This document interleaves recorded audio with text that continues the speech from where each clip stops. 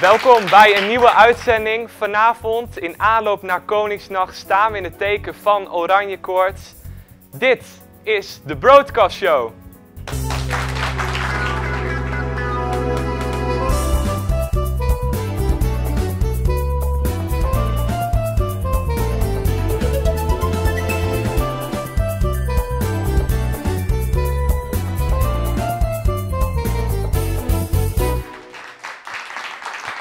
Leuk dat je kijkt naar een nieuwe uitzending. Vanavond dus in het teken van Oranje Koorts, want ja, morgen is het Koningsdag.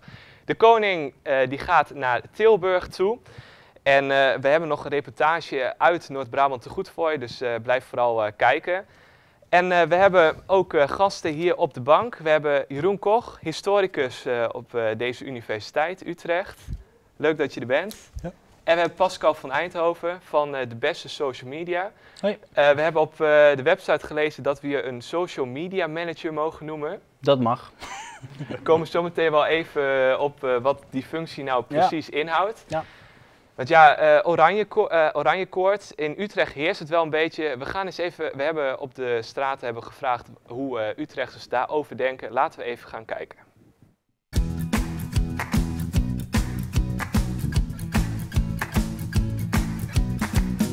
Waar denk je aan als ik het heb over oranje gevoel? Wat is het eerste wat in je opkomt? Aan het Koningshuis eigenlijk met name. Ehm, en alles wat daarmee te maken heeft. Nederland zelf ook wel. aan trots, aan, eh, aan Nederland.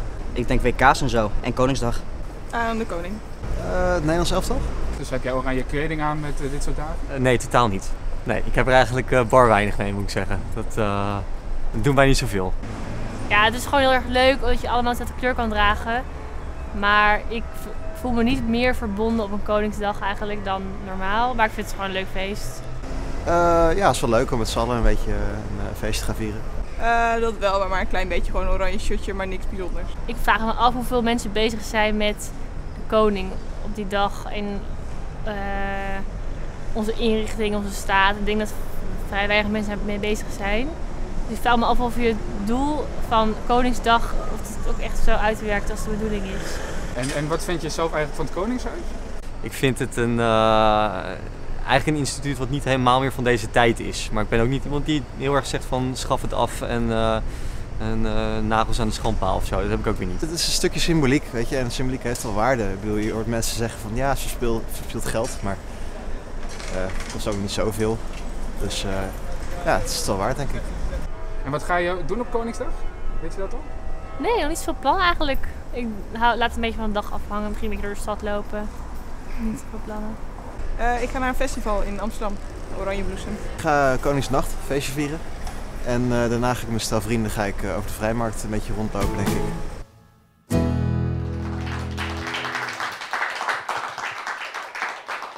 Ja, oranje koorts eh, dus, het heerst in Utrecht. Eh, heerst het ook een beetje bij jullie, Jeroen? Eh, nee, bij mij niet echt. Nee. Nee? Nee, hoor, nee.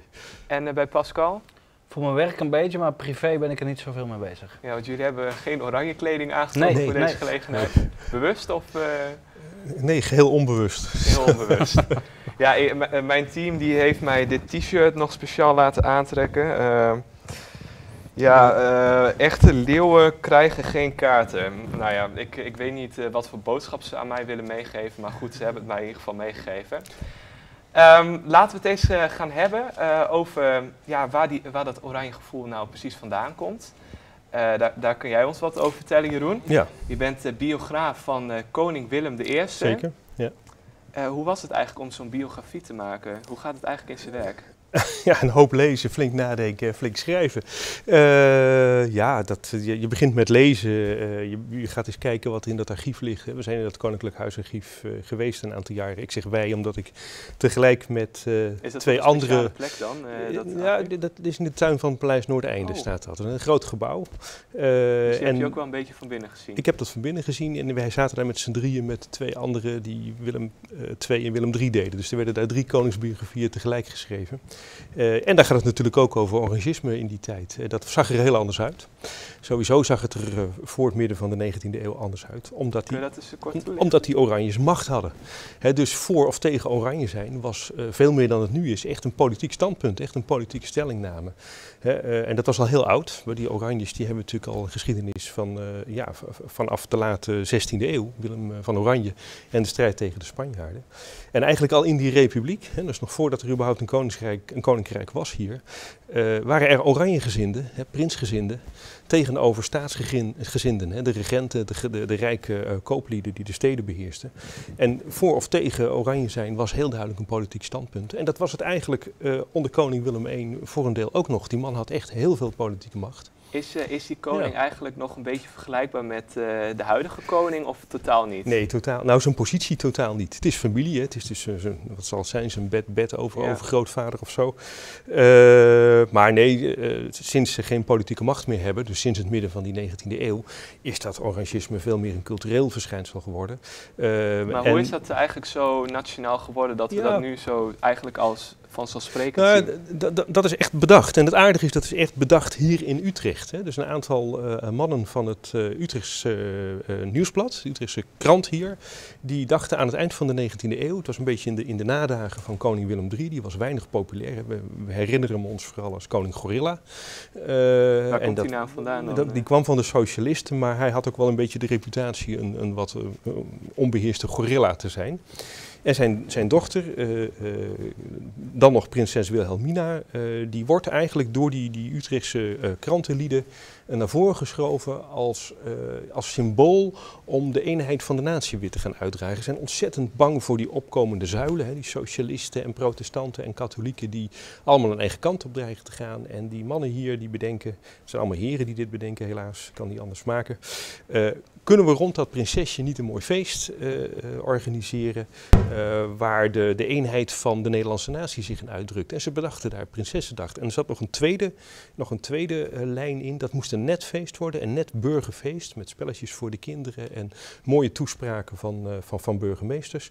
En dat moest dan ook eigenlijk een alternatief zijn voor die enorme ruige volksfeesten die er waren. Je moet voorstellen dat in Amsterdam net dat palingoproer was geweest, hè, waarbij ze verboden eh, dat eh, in die grachten eh, ja, levende palingen van een touw werden getrokken, wat tot een enorme heibel aanleiding gaf. En dan vond men eigenlijk een vreed feest. En ook die Koninginnedagviering moest daar als het ware een net feest tegenover stellen. En ja, En dat, ja, dat was Prinsessendag. En op het moment dat Wilhelmina koningin werd, ingehuldigd was in, in 1898, werd dat Koninginnedag. Ja, tot op de dag van vandaag vieren we dat in ieder geval. Eh, heel veel jongeren vieren dat in ieder geval. Eh, je hebt je studententijd eh, net achter de rug, Pascal. Of hoeveel? Mm, vier, vijf jaar geleden. Vier, vijf ja. jaar geleden. Dus net. nou, dat, we kunnen het als net zien. Ja. En ehm, hoe, hoe heb jij eigenlijk je Koningsdagen een beetje doorgebracht? Had jij ook dan een beetje dat, ja, dat oranje gevoel dan? Mm, nee, ik kon het wel altijd waarderen, want ik hoorde net in het interview iemand zeggen, de symboliek, dat, daar is het vooral voor en dat kan ik wel waarderen, maar persoonlijk heb ik er niet zo heel veel mee. Eh, en ik heb het wel geteld eh, drie of vier keer gevierd en verder doe ik er niet zo heel mee. Maar het wordt wel eh, heel veel op social media gevierd. Ja, absoluut. Ja. Waarom pakken bedrijven eigenlijk Koningsdag aan als, zeg maar, om echt een beetje te knallen op het gebied van marketing? Ja, ehm, nou, omdat, ik denk omdat Koningsdag een heel positief feest is. Eh, en het is ook heel, eh, eh, het is over de positieve kant van het nationalisme. En als je dat als bedrijf op een, of als merk op een goede manier kunt claimen, dan zit je eigenlijk, ga je, lift je eigenlijk mee in, dat, in die positieve sfeer. en dat nationalisme. En als je dat ook nog eens goed kunt koppelen aan een product of een merkverhaal wat je probeert te vertellen, eh, dan kan het zijn dat je inderdaad eh, eh, heel veel likes scoort of vaak geretweet wordt eh, en eh top We hebben daar straks nog een aantal mooie voorbeelden van. Yes. Eh, ja, Koningsdag, positieve sfeer altijd. Eh, is dat eigenlijk ooit nog eh, de negatieve kant op gegaan? Dat het ooit bijna werd afgeschaft bijvoorbeeld? Nee, volgens mij. Nou ja, de, de echt negatieve kant, dat weet ik wel. Dat was het jaar dat ik eh, eindexamen deed. Dat was 1980. Eh, geen woning, geen kroning. Eh, dat is natuurlijk een enorm eh, kabaal geworden in, in, in Amsterdam. Er waren daarvoor net een aantal grote kraakpanden gesloten. En dat heeft eigenlijk geleid tot een soort, soort stadsoorlog. Ehm, je kunt zeggen, de veruit de overgrote meerderheid van de Nederlandse bevolking die stond aan de kant van de op dat moment net ingehuldigde koningin Beatrix.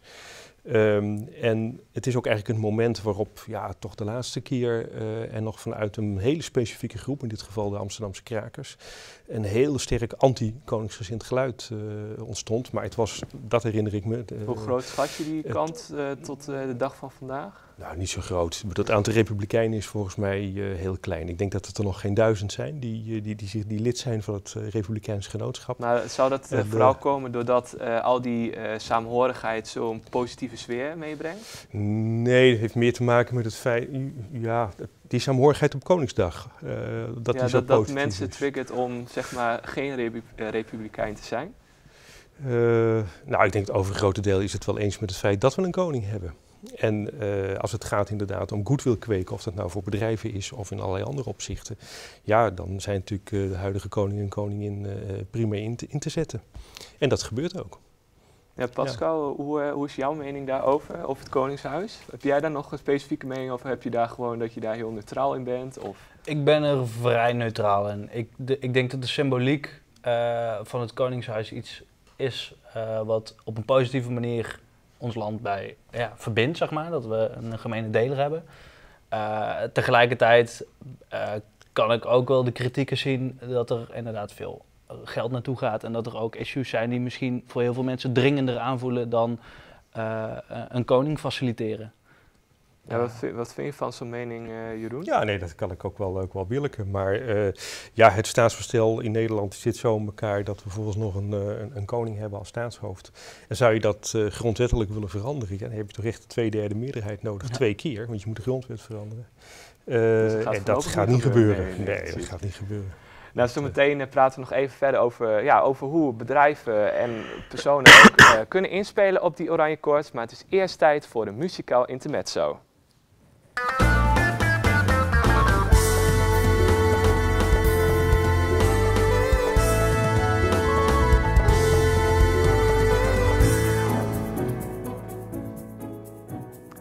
Ja, het is weer tijd uh, voor een nieuw uh, muzikaal intermezzo.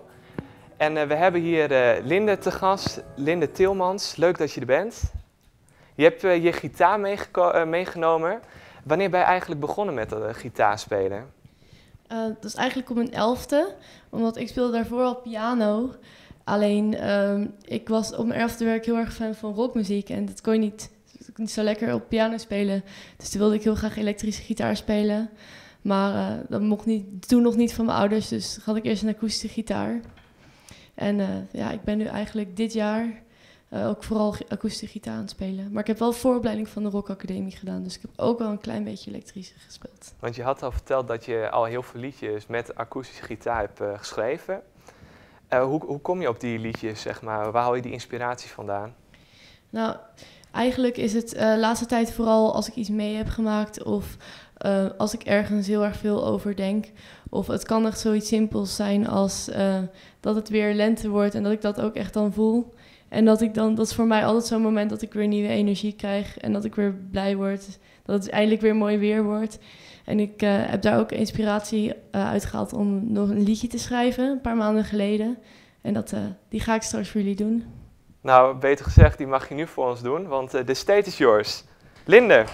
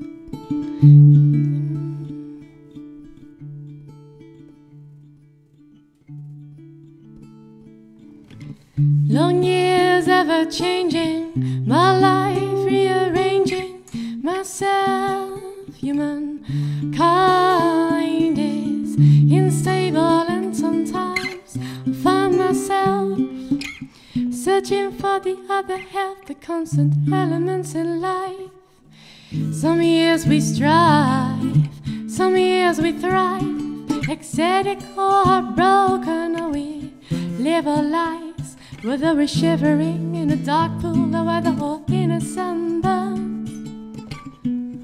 At least every year the spring air returns.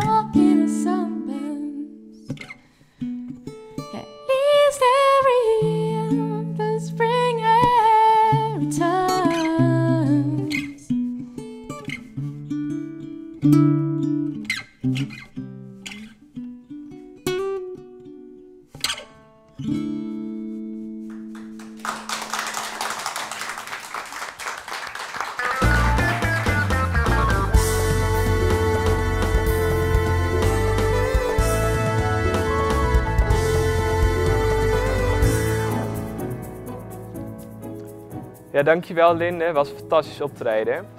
En eh, wij zijn, eh, ja, hij kon helaas niet te gast zijn, maar we zijn bij hem thuis langs geweest. Ik heb het over Johan Flemmix. Je eh, zult hem wel kennen van Ter land, te zee en in de lucht. En wellicht van zijn grote hit Hives is Hives.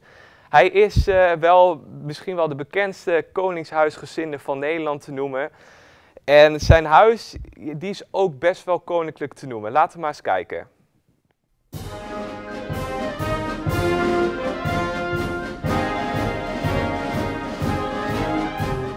Het zonnetje schijnt hier in Eindhoven. We zijn te gast bij de grootste en bekendste oranje fan van Nederland, Johan Flemmings. Laten we eens kijken hoe zijn oranje collectie er nou precies uitziet.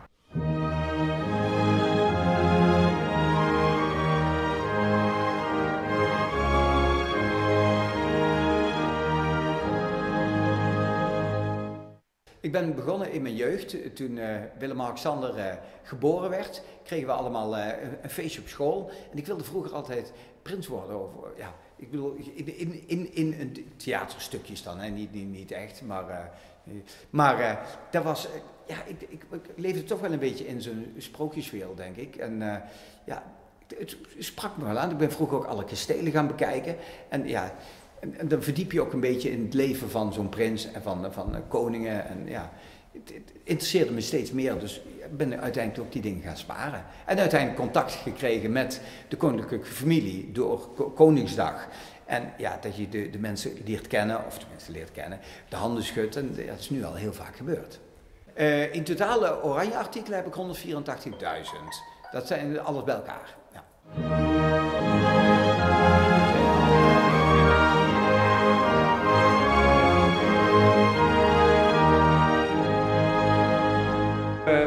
Eh, kun je dit eigenlijk noemen, dit, eh, jouw woonpaleisje? Ja, nu is het nog een beetje, we hebben dan wel de, de met de, met de wilde dieren allemaal, maar het, het wordt hier nog wel ingericht. We gaan wel kamers nu helemaal speciaal inrichten met foto's, portretten.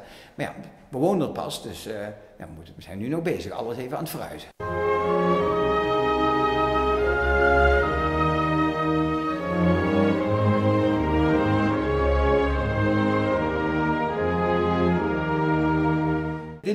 Eh, met, de, met de leeuwen, met de ijsberen.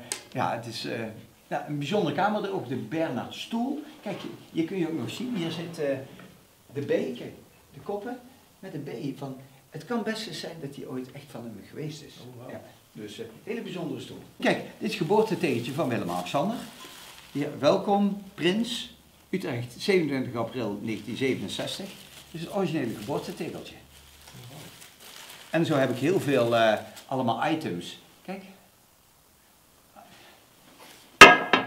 Ik heb eh, prinses Beatrix natuurlijk heel vaak ontmoet. Maar ook eh, dat ik met Koningsdag in Almere, dat Willem-Alexander en Maxima ook kwamen. En Maxima pakte mijn hand vast. Oh, je bent helemaal koud. Ik zeg, ja, ik sta hier al vannacht, vanaf vannacht vier uur. Dan word je wel een beetje koud. Toen moest ik erom lachen. Koningsdag is voor mij alleen maar geslaagd als ik koninklijke familie gezien heb. Iets overhandigd heb en eh, dat ik weer die blije gezichten allemaal heb gezien. Leuke foto's gemaakt. Ik zeg, hé, hey, daar was hij weer. Dus eh, ja, altijd een beetje contact met de koninklijke familie. Dan is die Koningsdag geslaagd.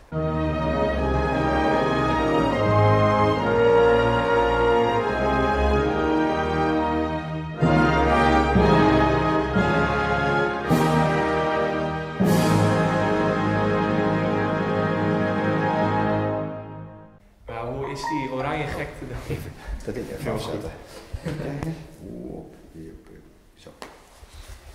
Ja, het is uh, Maxima, maar ik bel zo meteen weer even terug.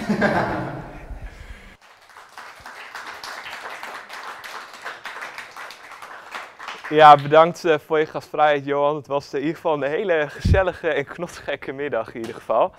Eh, want ik heb verder nog vernomen dat bijvoorbeeld dat huis eh 15 toiletten bevat. Dus eh, dat is ook wel eh, een behoorlijke, behoorlijke villa te noemen. Of eigenlijk ook wel een soort paleis. Eh, Jeroen, zou, zou die eh, Prins Bernhard stoel echt kunnen zijn, denk je? Eh, Nou, die stoel is echt, maar die B die zou net zo goed van Beatrix kunnen zijn Oh ja, natuurlijk. hè. tuurlijk, dus ja, ja, ja. wie weet. eh, De, de- Ja, dat deden ze wel. In de troon, in de troon in de ridderzaal, wordt wel de letter van de voornaam van de heersende koning, of de regerende koning, gezet.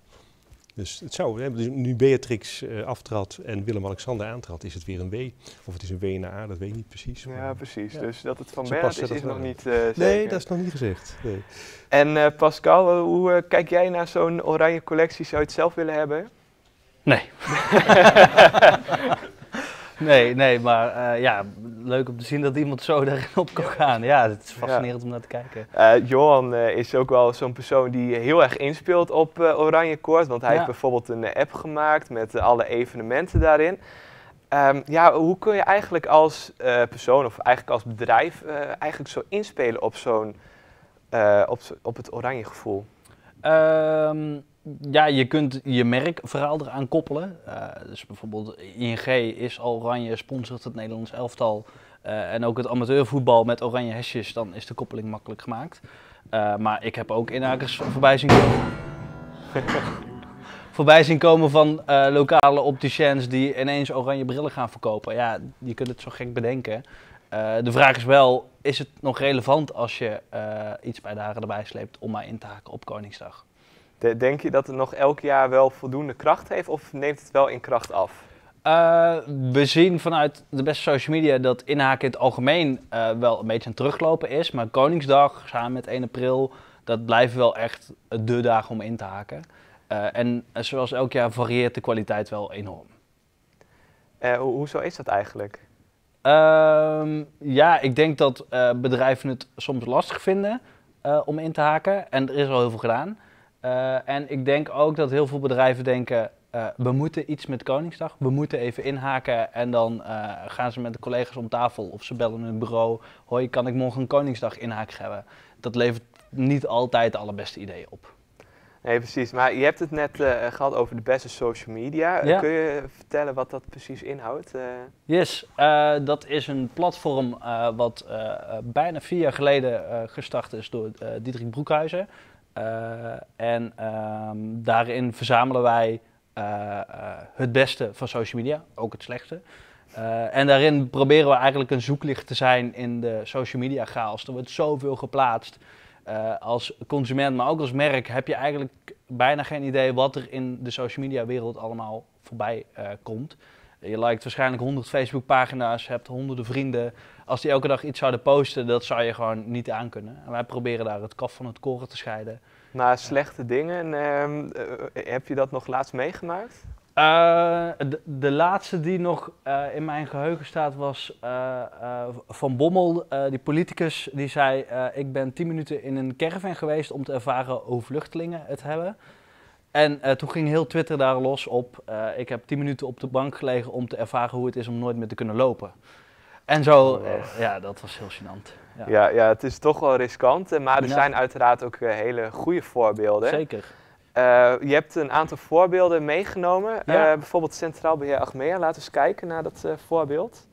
Hoe zij inspelen op die oranje koord. Zou je eens Ja. wat uitleg bij kunnen geven? Ja, nou deze had in 2015 eh, eh, de beste social award gewonnen voor beste inhaker. Eh, ik moet er wel bij zeggen dat het origineel geen social media post was, want deze stond namelijk in een dagblad in 2009. Eh, maar ze hebben hem in 2015 toch in een, eh, social media, op een social media geplaatst. Ehm, en ja, de grap is natuurlijk ja, bijna Johan. Ik denk dat Johan Flemings daar ook graag had willen staan. Dat denk ik ook wel, ja. de- maar de grap is natuurlijk heel duidelijk. En de koppeling aan centraal beheer is denk ik ook goed gemaakt. Eh, want als je dit ziet, dan wil je wel even je verzekering kijken of dat dit wel gedekt wordt, eh, wat eh, allemaal verkocht wordt. Ehm, ja, en het is natuurlijk de grap, die, eh, dat is het allerbelangrijkste. Het is grappig. En ehm, Jeroen, hoe kijk jij dan, omdat, eh, omdat jij dan eh, niet zo helemaal thuis bent in de social media, want je had geen Facebook en dergelijke, erg, hè? stelde ja, je dat is mij. vreselijk. Ja. Eh, hoe Ja. kijk je naar zo'n campagne? Denk je Ik goede vind deze wel heel erg leuk. Ja, ik vind deze wel heel leuk. Ja. En, je, eh, ziet, je ziet de prinsesjes gewoon even de boel van Zolder verkopen. We willen het ook wel eens doen, zo'n vrijmarkt. Kan me dan wel Het is eigenlijk wel een goed idee voor het Koningshuis. Ja. En waarschijnlijk zo'n hofdame die toezicht houdt daar links. Met een beetje een oogje in het zeil. En ehm, Pascal, eh, er is ook nog eh, een ander voorbeeld van eh, Johan Cruijff. Nou, dat is nu Ja. heel actueel omdat de Amsterdam Arena een nieuwe naam krijgt. Ja. Laten we eens naar, naar die kijken, als je daar ook even toelichting bij willen, wil, Ja, zou dit willen geven. is niet door een merk geplaatst, maar dit is door Boomerang Create gemaakt. En dat is een social media bureau, maar wellicht kennen jullie dus nog wel van de kaarten. De Boomerang kaarten die in, in kroegen en uitgaansgelegenheden veelvuldig eh mee gegrist werden. Eh, en dit is eigenlijk een doodsimpele, maar daardoor ook zo effectieve inhaker op het overlijden van Johan Cruijff. Eh, visueel is het heel simpel, maar kom er maar op om dit eh, zo vorm te geven. Ja, en het, het, het is, toont ook denk ik wel een beetje, het is op een respectvolle manier inhaken. En wat zijn nou de, de- ingrediënten om zo'n goede, om echt zo'n goed, goed iets te maken? Ja, ehm, ik denk dat relevantie wel altijd eh, eh, bovenaan moet staan. Eh, dus waarom zou je inhaken als bedrijf als het niet relevant is voor je merk? Dus dat moet je altijd in je achterhoofd hebben. En ik denk wel dat humor ook echt heel belangrijk is. Ehm, want je kunt een oranje product tonen, maar als daar geen grap achter zit, dan is de kans heel klein dat dat opgepakt wordt door je fans of mensen daarbuiten. Dus die twee elementen zijn wel heel belangrijk. Overigens bij deze van Cruijff natuurlijk, het, het- voor zover het oranje gevoel het Koningshuis ook eh, betreft, dan is dat ook natuurlijk wel erg ver weg hier.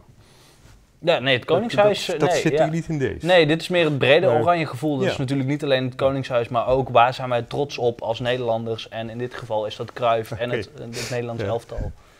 Ja, nee, precies. Het oranje gevoel kun je heel breed eh, trekken. Ja, dat Ja. is zeker.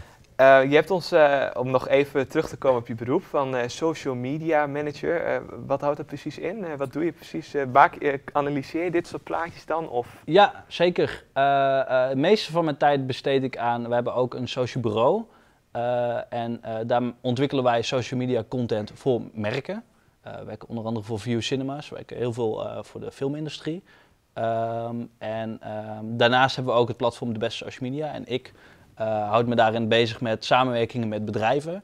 Eh, dus eh, bedrijven kunnen ook gesponsorde artikelen bijvoorbeeld bij ons inkopen. Ehm, en eh, social media manager is een heel brede term. Ik manage eigenlijk dat de social media die wij naar buiten brengen goed is. Want hoe ben je eigenlijk bij zo'n beroep terechtgekomen? Is dat echt je jongenstroom geweest? Nou ja, jongen, Eh, nou, social nee, media was toen mm, nog niet heel... eh, Precies, dat bestond toen nog niet. Nee. Nee, ik heb eh, eh, eh, ook deze studie gedaan. Eh, en toen eh, ben ik een jaar gaan stage lopen bij A-Film, een distributeur die helaas failliet is gegaan. Eh, en daar leerde ik de social media marketing kennen van film. En dat vond ik onwijs gaaf en daar wilde ik meer over leren. En toen heb ik mezelf daarin eigenlijk opgewerkt en ook omgeschoold. Ja. Nou, om nog even terug te komen op het voorbeeld van Centraal Beheer Achmea, een, een vrijmarktje. Eh, Zijn jullie een keer op de vrijmarkt gaan staan?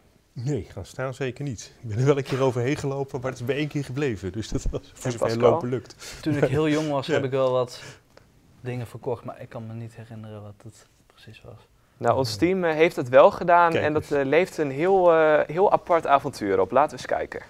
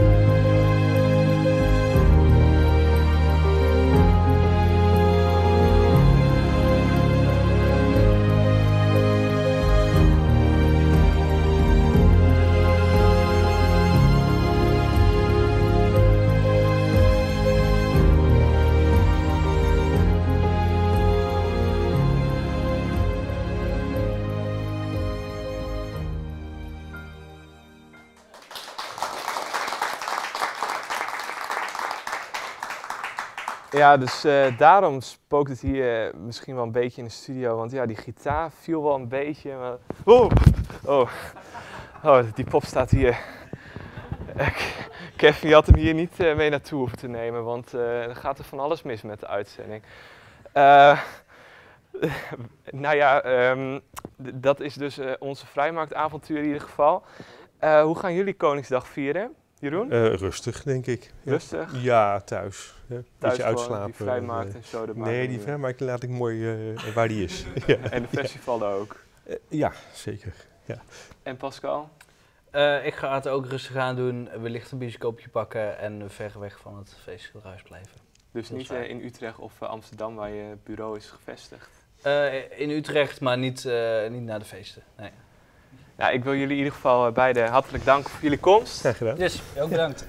En eh, dit was hem dan, de broadcast show voor deze, eh, voor deze woensdag 26 april. Veel plezier morgen op eh, Koningsdag. We zijn er weer met een volgende editie op 31 mei. En eh, volg ons op sociale media om helemaal op de hoogte te blijven. Eh, bedankt voor het kijken en tot de volgende.